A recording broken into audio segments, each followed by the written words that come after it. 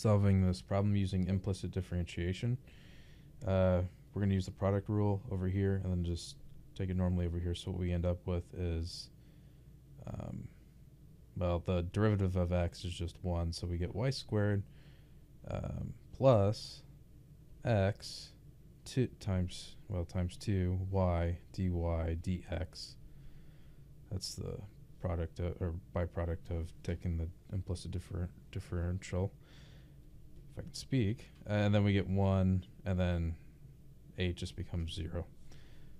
So moving everything over, so I get x, I get 2x, y, dy, dx is equal to 1 minus y squared, and then divide through by 2xy, divided by 2xy, and then we get 2, or dx, dy, um,